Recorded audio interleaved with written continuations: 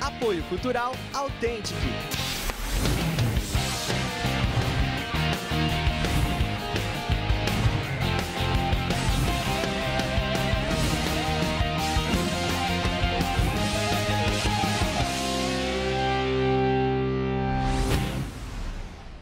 Oi, o Mais Esportes já está no ar. Eu quero começar o programa te perguntando: será que você está sendo motivado para mudar os seus hábitos e ter uma vida mais saudável com o quadro Mais Esportes Mais Saúde?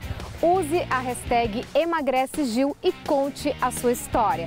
No programa de hoje você vai saber sobre um esporte radical praticado no asfalto vai conhecer um pouco mais sobre o Leão do Vale, o time de Cianorte, e também sobre a reta final do quadro Mais Esportes, Mais Saúde, com Giovanni Helpelli.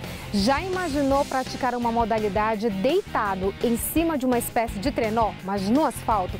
Pois é, esse esporte é muito praticado no Paraná e alguns atletas foram convidados para participarem de campeonatos. Vamos conhecer agora na matéria. Um, dois, três.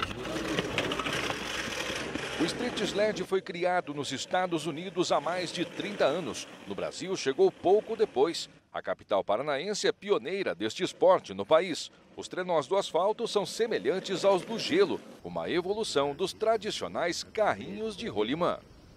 São cerca de 40 riders na cidade e 80 em todo o estado. Os sleds podem chegar a 140 km por hora e têm preparo parecido aos dos carros de competição. Aqui o desafio é o limite entre a segurança e a velocidade. A segurança ela está nos equipamentos, né? Então a gente usa macacão de couro, luvas especiais, é, capacete apropriado para isso, sapatos adequados. O ponto de encontro dos praticantes é a pista do Parque São Lourenço, mas eles também se aventuram nas ruas e nas estradas. A gente foi para a barragem de Piraquara, onde pegava 100 km por hora. E dessa a gente foi convidado e para o Rio Grande do Sul, onde tem Teutônia, que é a ladeira mais rápida do mundo, a gente começou a construir a nossa história.